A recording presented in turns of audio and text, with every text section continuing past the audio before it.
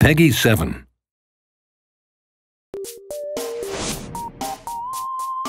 What can I tell you about Adventure Time? Well, let me tell you what I know about this game. A lot. Adventure Time Explore the Dungeon because I don't know, basically is just Finn and all of his friends going into a dungeon and just slaying creatures.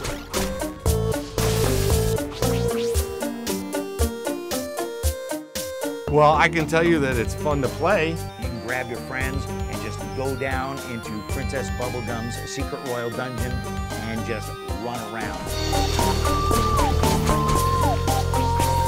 I'm not gonna give you a spoiler.